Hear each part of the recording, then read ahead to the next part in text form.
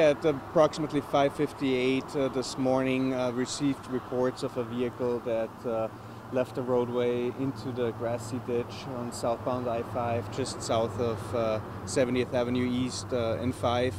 Uh, what we heard then is that uh, flames became visible underneath the vehicle and they quickly spread into the brush and uh, adjacent trees.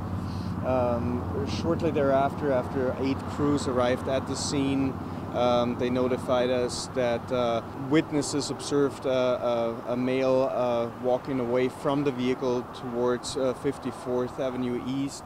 He was described as a, a black male, uh, thin built, in his 30s, with short hair, dark blue shirt, and uh, dark pants.